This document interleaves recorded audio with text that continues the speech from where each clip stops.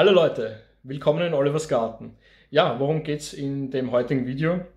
Ich möchte euch ein bisschen über meine äh, überwinterten Chilis berichten. Die habe ich natürlich an unterschiedlichen Standorten postiert. Ihr wisst, ich liebe äh, Überraschungen und Experimente, deswegen geht es natürlich nicht, dass die nur an einem Standort sind. Ja, es sind äh, unterschiedliche Standorte mit unterschiedlichen Settings. Äh, ich finde das immer ganz spannend. So bin ich für das nächste Jahr auf jeden Fall gewappnet und weiß, äh, wie ich die Chilis äh, am optimalsten sozusagen versorge. Und für euch vielleicht auch eine wichtige Information. Das ist klar, dass ich die natürlich wieder mit euch teile. Ja, am Schluss gibt es natürlich noch eine, einen kleinen Einblick in meine bisherigen äh, äh, eingepflanzten Chili-Samen, wie es denen geht. Ähm, ja, ich hoffe, ihr findet das Video spannend. Wenn ja, bitte Daumen hoch. Lasst mir vielleicht ein Abo da. Wir sind äh, momentan 43 Leute. Es ist immer wieder der Stand, den ihr, den ihr hier erfahren wollt. Ich würde mich auf jeden Fall über mehr Abonnenten freuen. Ich bin froh, dass ihr 43 dabei geblieben seid. Ähm, ja, und jetzt bleibt mir nichts anderes übrig, als ab mit dem Intro zu sagen. Viel Spaß!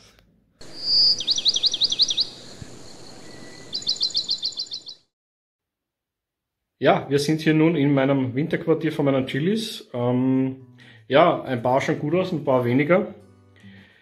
Fangen wir an mit der leider Gottes, äh, den kann man leider vergessen. Ich glaube, das war irgendwie so ein Piri Piri. Ja, der hat es echt nicht geschafft, leider Gottes. Die anderen sind äh, ziemlich okay, muss ich sagen. Das ist der Dragon X Dougler. Ja, mit dem bin ich ganz zufrieden. Der gibt schon ein bisschen Gas, ein bisschen Gas, wie man hier sieht. Die oberen schauen jetzt nicht so extrem gut aus, aber das wird schon, glaube ich. Ich habe jetzt einmal alle auf jeden Fall nochmal gegossen.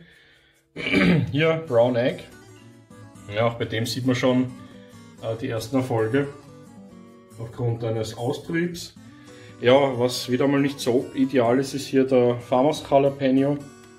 Ja, der schaut auch schon eher ziemlich ausgetrocknet aus, aber wie gesagt, den, das war leider Gottes immer wieder ein Wackelkandidat bei mir, aber ja, so ist das halt leider Gottes, ja. Äh, wahrscheinlich das Namenstag äh, verloren gegangen, leider Gottes auf der, äh, beim, beim Umzug hierher. Ich weiß leider Gottes nicht ganz genau, welcher das ist. Ähm, auch bei mir daheim habe ich leider einen, der keinen Namenstag mehr oben hat. Ich muss ein bisschen recherchieren, welche das sein kann. Ja, was soll ich bei dem sagen? Ja, die oberen Äste oder Astverzweigungen sind leider schwarz. Schwarz ist eigentlich auch nie eine gute Geschichte. Ich befürchte, die sind am Absterben. Aber natürlich gebe ich äh, allen auf jeden Fall noch eine Chance. Ich äh, lasse sie auf jeden Fall hier noch äh, stehen bis zum Frühlingsbeginn. Äh, sie kommen dann raus. Äh, das wird auf jeden Fall äh, hier die zweite Basis, meine zweite Chili-Basis hier. Und schauen wir mal weiter, wie es dann alles funktioniert. Ja, hier Congo Trinidad, eine echte Freude, der treibt volle aus. Also Congo Trinidad ist gesichert, das ist eine super Sache. Ich glaube, die kleineren Äste, die es wirklich vielleicht dann nicht geschafft haben, das muss ich mir dann noch ein bisschen später anschauen oder im Laufe des Frühlings werden natürlich weggeschnitten, ja, die braucht natürlich keiner. Ja. Weiter hier zum Brown Egg. Ja, der schaut auch nicht richtig gut aus. Ich glaube, der hat versucht anzutreiben, aber ja, ich bin jetzt nicht ganz regelmäßig hier, leider Gottes. Ähm, ja, schaut leider auch nicht so richtig gut aus. Ähm, ja, kann man nichts machen. Brown Egg. Was ist mit dem Jalapeno hier? Ja, also hier ist noch eigentlich alles grün. Er treibt zwar noch nicht aus, aber ja, schaut auch nicht so ganz übel aus. Leider Gottes stellt sich der Autofokus nicht gescheit ein. Äh, wie ihr seht, ja, ich habe die alle ziemlich aufeinander getürmt, dass die beim Fenster stehen können oder im, im, im Hellen zumindest. Bringt uns gleich weiter zum Bio-Chili, ja. Oh, das schaut auch leider ganz schlecht aus. Ja, also. Ja. Giftiges Pflänzchen leider Gottes, ja. Kann man leider nichts machen. Hot Chili, ja, das schaut nicht so schlecht aus. Ähm, alles noch grün, im grünen Bereich sozusagen, ja. ja. Schauen wir mal wie es da weitergeht, aber ich bin guter Hoffnung. Was mich wirklich gefreut hat, war der karibische Chili Fatale, ja, also der gibt richtig Gas, wie man sieht, ja. Die sind alle am gleichen Standort und der freut sich so richtig schon auf das neue Jahr. Ja, das schaut richtig gut aus, gefällt mir gut, obwohl auch hier stellenweise wirklich die schwarz sind, ja, das schaut wirklich irgendwie abgestorben aus oder ist wahrscheinlich abgestorben. Naja, schauen wir mal, wie es weitergeht. Ja, und leider Gottes ein persönlicher Verlust für mich. Ähm, mein Chili Habanero Golden, ja, also das schaut wirklich auch leider Gottes ganz, ganz, ganz schlecht aus. Ich setze jetzt nicht mein vollstes Vertrauen da leider rein, ja. Also das heißt für mich, bei allen, die jetzt irgendwie höchstwahrscheinlich abgestorben wirken. Äh, Gibt es natürlich ein Backup in Form äh, von äh, Kernen, die ich letztes Jahr natürlich äh, gesichert habe. Mm, ja, das ist halt ein bisschen schade. Aber das ist, wie gesagt, ein Experiment. Äh, alle haben's, hätten es, glaube ich, oder wäre wär super, wenn es alle geschafft hätten, aber ja, so funktioniert das halt leider Gottes nicht immer, wie man sich das wünscht. Aber ich habe da noch zwei im äh, anderen Raum und die schauen wir uns auch noch gleich mal an. Ja, hier sind die letzten zwei, ähm, beziehungsweise vier, kann man sagen. Ja, leider, leider hier Sarit Guard. Tut mir sehr leid. Ähm, schaut wirklich nicht, nicht, nicht gut aus. Hat es hier wahrscheinlich nicht geschafft. Ich habe natürlich dennoch alle gegossen, das ist eh ganz klar. Schauen wir mal, vielleicht äh, packen sie es noch. Wie gesagt, es tut nicht weh, dass die hier stehen. Was mich umso mehr freut, ja, schaut sich das an. Ja. Boom, da geht halt wirklich was ab. Hier ist der Lemon Drop. Der hat wirklich schon ziemlich Gas gegeben, aber ich befürchte, das sind so vergeilte Triebe, wie man sagt.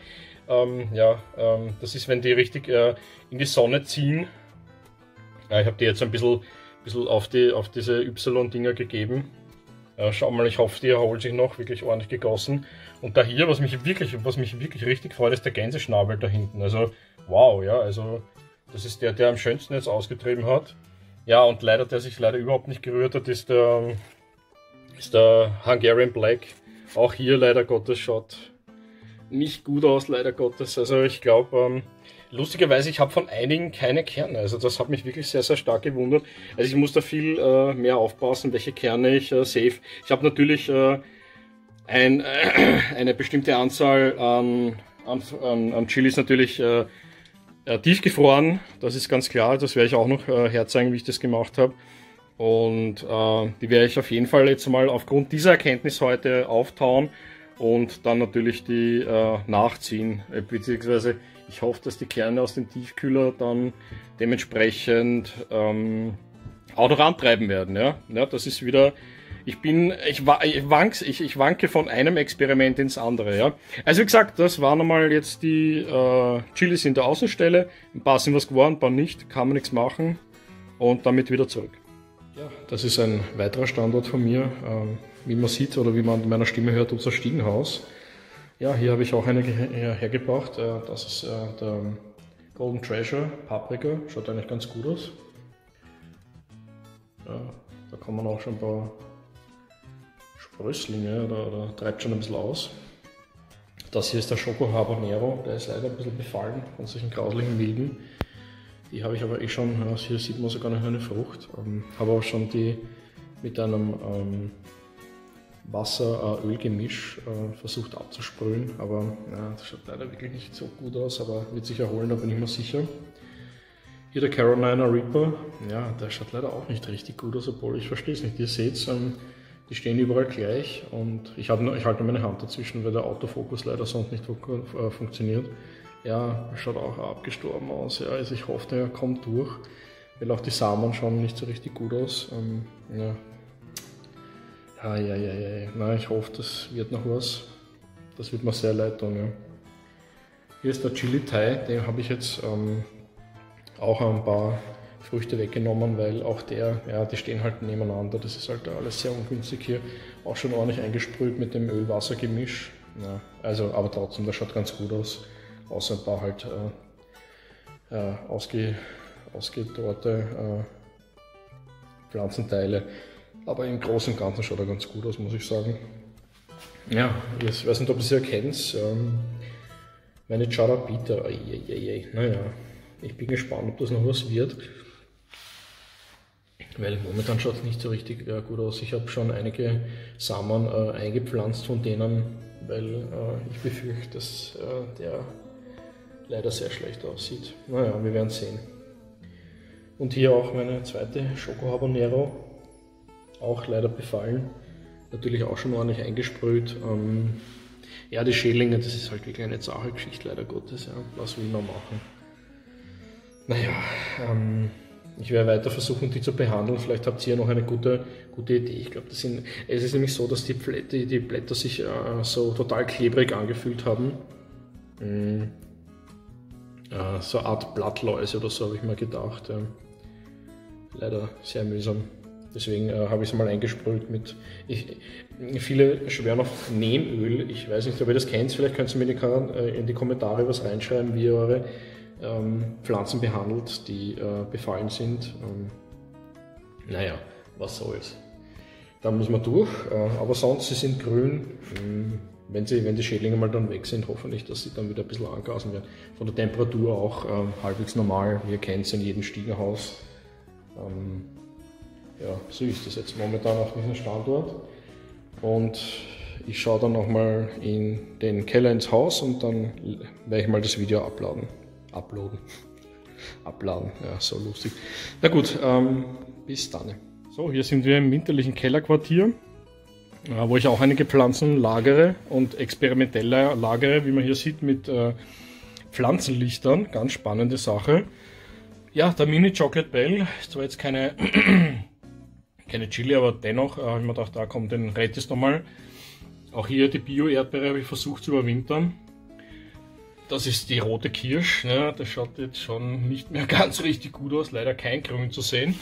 Was haben wir da? Den, den gelbe Kirsch, ja, das schaut, also da man es hier gut sieht, ich mache ein bisschen das Licht an. Das ist schon noch grün, also grün zu sehen, leider Gottes kein Austrieb. Der Ferenc Tender Paprika auch eher schlecht, oje oje. Ja, Chili Tejang Medium. Schaut noch ganz gut aus. Das ist eine feine Sache. Ich glaube, das wird auf jeden Fall. Ah, wie man sieht hier, treibt er auch noch aus. Oder treibt er schon wieder aus. Ja, fällt mir nie ein. Äh, Rosmarin, genau. Endlich, Rosmarin.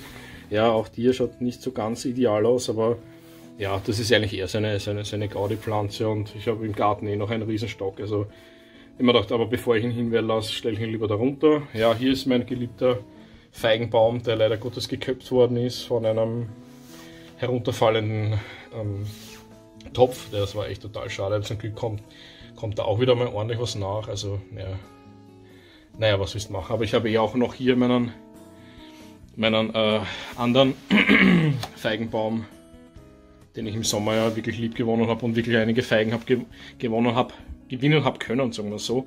Und auch der treibt auch schon wieder aus. Also alles im grünen Bereich eigentlich. Ähm, ja, und hier ein spannender Topf treibt zwar aus, aber ich muss gestehen, ich weiß jetzt gerade nicht, welcher, auch nicht welcher, welcher das ist, weil offensichtlich beim Umzug oder, oder beim Runterziehen der, das Tag, das Namenstag verloren gegangen ist. Ja, äh, Coup Surprise, würde ich sagen. Wir werden sehen, was da draus kommt, aber treibt, brav aus. Halt auch hier wieder die Hand davor, treibt aus. Super Sache. Also, das ist das winterliche Quartier mit dem Kunstlicht, weil hier ist wirklich ganz, ganz eigentlich ziemlich dunkel und äh, es hat um die 10 Grad. Also, schaut aber ganz, ja, es ist so Hälfte, Hälfte. Ja. Naja, der rote Kirsch, das ist auch noch ein bisschen grün. Das ist jetzt in der Kamera, im Kameralicht halt ein bisschen anders, aber wir werden sehen, was sich ergibt. Ja, der Ferenc Tender. Auch hier noch ein bisschen grün. Wie gesagt, ich gebe allen auf jeden Fall die Chance. Und, und wir werden sehen, wie es weitergeht. Wie gesagt, hier komplettes Kunstlicht. Äh, die Experimente, die ich hier wirklich äh, mache, spannende Sache für mich das erste Jahr auf jeden Fall und ich hoffe für euch auch. Und damit gebe ich zurück. Servus! Ja, heute ist der perfekte Sonnentag, um nachzuschauen, wie es meinen bisher gepflanzten Chilis geht. Wie ihr seht, äh, ich habe das auf einer Wärmematte hier äh, und äh, mit, seinem, äh, mit seiner Überdeckung, damit das Mikroklima ideal ist. Äh, was ich doch immer wieder hier mache, ist äh, das Kondenswasser, wie auch bei dem, das Kondenswasser aus, auszuleeren und abzuwischen, weil das, ich habe nachgelesen, angeblich den Schimmel ähm, ähm, fördert und das ist natürlich ganz, ganz schlecht für die Pflanze und für die Erde. Also das mache ich immer wieder mal. Und ganz spannend jetzt. Jo, wie man sieht. Top, top, top. Also die kommen schon recht brav. Ich bin ganz begeistert. Jetzt ihr, manche, manche, da ist noch wirklich das Kernel auf den, äh, auf den, auf den, äh, weiß nicht, wie man die nennt, diese ersten Blätter, Anzuchtblätter oder Keimblätter. Ähm, ja, ich weiß nicht, ähm, ich habe bei, einigen versucht, aber glaube ich schon letztes Jahr, die runterzugeben. Man muss da wirklich unfassbar aufpassen, weil sonst reißt man die wirklich. Die sind ganz zart, diese Pflanzen, und reißt auch mal ganz schnell äh, den, kompletten, äh, den kompletten Kopf äh, ab, sozusagen. Und das ist natürlich ganz, ganz schlecht. Ja. Dann kann man den natürlich sofort schmeißen. Deswegen äh, mal gehört, man kann die irgendwie so ein bisschen einweichen oder so, dann äh, kann man die leichter runternehmen und weil sie da total weich sind von der Haut her. Aber ja, das lasse ich dabei noch. Ja. Ähm, Werde ich, glaube ich, auch nochmal in einem YouTube-Video irgendwie nachschauen, äh, wie das genau äh, gemacht wird und wie man das richtig gut machen kann. Aber wie man sieht, ähm, denen gefällt es richtig gut hier. Äh, natürlich heute habe ich ein Glück äh, und es ist äh, Morgensonne und äh, das schaut richtig gut aus, oder? Also es ist jetzt knapp bei dem, bei dem eine Woche her, seitdem ich die äh, eingepflanzt habe. Wie gesagt, ich habe immer vier eingepflanzt. Man sieht es, ja, bei denen sieht man es gut. Ja, da sind wirklich alle vier gekeimt. Super Sache. Bei anderen kommen erst zwei und bei anderen drei, bei einem dabei nur eine. Wie gesagt, so sieht es aus ganz am Anfang. Ja, aber ich bin, und bei manchen kommt noch gar nichts. Das ist irgendwie total lustig. Vor allem äh, die erste Reihe habe ich mit Carolina Reaper Samen ähm, ähm, äh, be belegt sozusagen. Aber da kommt auch noch keine einzige. Also das schaut äh, momentan noch nicht so richtig gut aus für die Carolina Reaper. Naja, was passiert hier? Das ist äh, eigentlich das äh, Aufzugsbecken, wollte ich sagen. Ah, Blödsinn.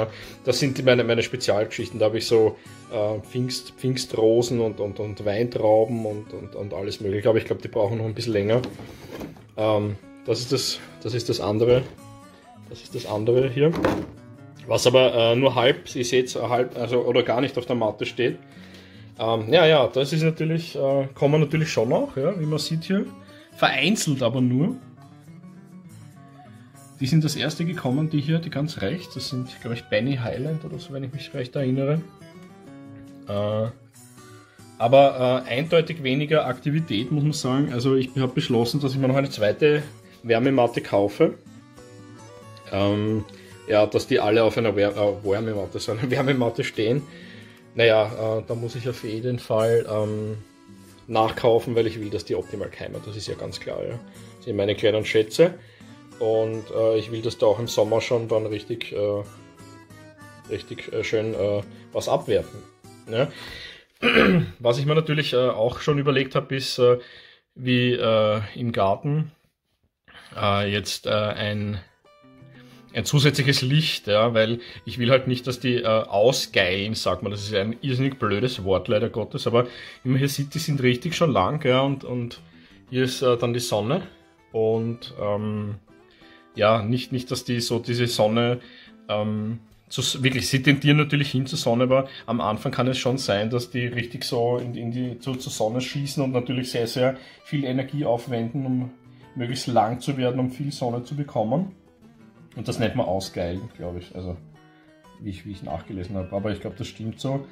Naja, schauen wir mal. Ähm, solange die jetzt nicht da noch, noch äh, viel, viel mehr wachsen. Ich glaube, das waren wirklich die ersten, die da gekommen sind. Und genau das wollte ich sagen. Ähm, dieser Topf hier, und diese Töpfe habe ich eine Woche vorher äh, ausge, ausgesehen.